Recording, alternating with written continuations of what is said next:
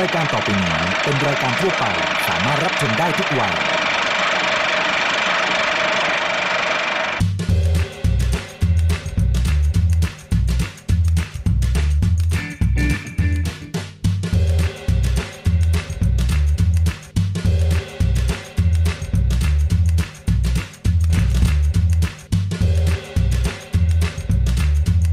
สนับสนุนโดยผลิตภัณฑ์ผลไม้ฟรุตเบรดและน้ำเชื่อมแต่งกลิ่นตราเนเจอร์เทส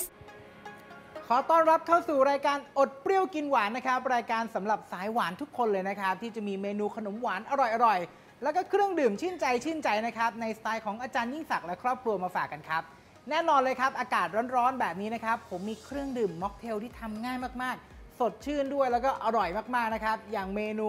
Mango Mocktail มาฝากกันครับ จะมีขั้นตอนการทำยังไงเนี่ย เดี๋ยวเราไปชมพร้อม ๆ กันเลยนะครับ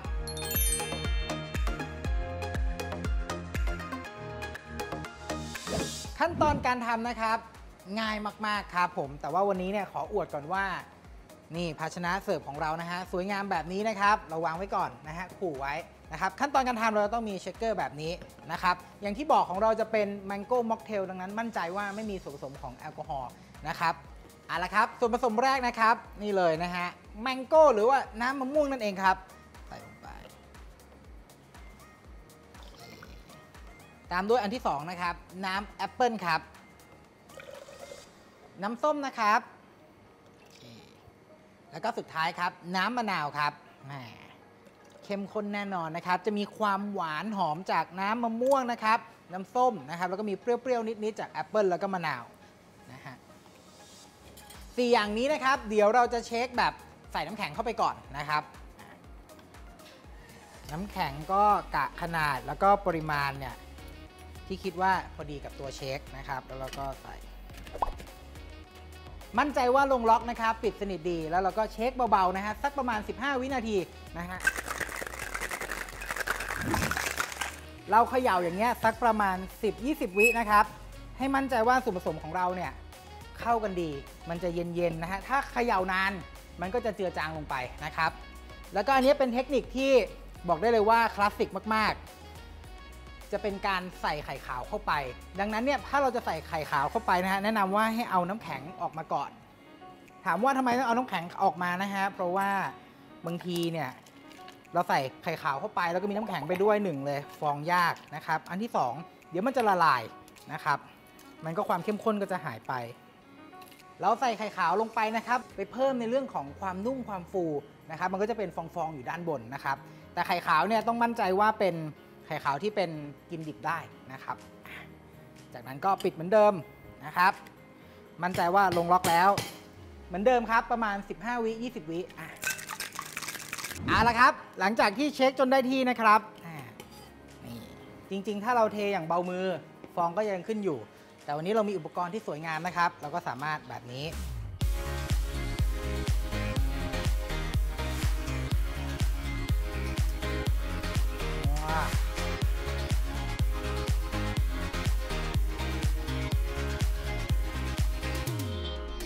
สุดยอด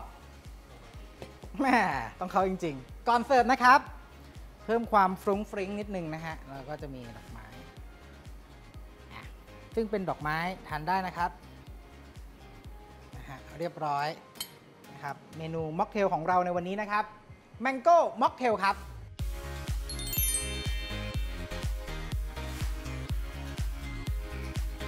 ช่วงหน้านะครับ อย่าลืมพบกับอาจารย์ยิ่งศักดิ์นะครับ ตอนนี้เนี่ยกำลังเตรียมทำเมนูอร่อยๆอยู่เลยนะฮะ เดี๋ยวเราไปชมพร้อมๆ กันดีกว่าครับ ว่าจะเป็นเมนูอะไร อร่อยกับผลิตภัณฑ์ TFM วันนี้มีชิฟฟ่อนชีสใบเตยมาฝากค่ะ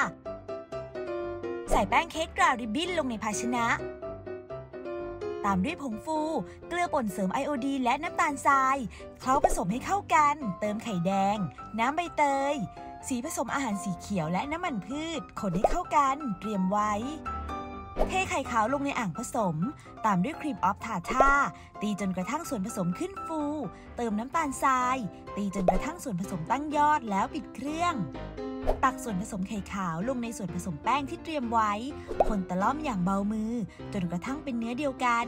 ตักส่วนผสมที่ได้ลงในพิมพ์ที่เตรียมไว้ ประมาณ3ส่วน4ของพิมพ์นำเข้าเตาอบที่อุณหภูมิ 375 องศาฟาเรนไฮต์นานประมาณ 20 นาที หรือจนกระทั่งสุกนำออกจากเตาพักไว้ให้เย็น ทาบัตเตอร์ครีมด้านบนชิฟฟ่อนที่อบไว้ โรยด้วยเชดดาร์ชีสจัดใส่ภาชนะ แค่นี้ก็พร้อมเสิร์ฟแล้วค่ะกับเมนู ชิฟฟ่อนชีสใบเตย แค่มีผลิตภัณฑ์ TFM ติดครัว ก็อร่อยกันได้แล้วละค่ะ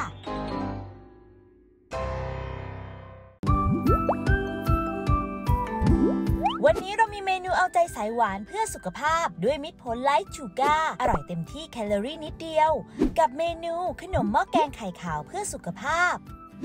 สูตรนี้มีแคลอรี่จากมิตรผลไลท์ชูการ์อยู่ประมาณ 225 แคลอรี่ ต่อขนมหม้อแกงไข่ขาวทั้งสูตร โดยทั่วไป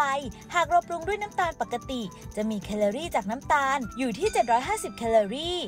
เพียงแค่ปรุงด้วยมิตรผลไลท์ชูการ์แคลอรี่จากน้ำตาลก็จะลดลงไปถึง 70%เรามาเริ่มทำขนมหม้อแกงไข่ขาวกันเลยค่ะ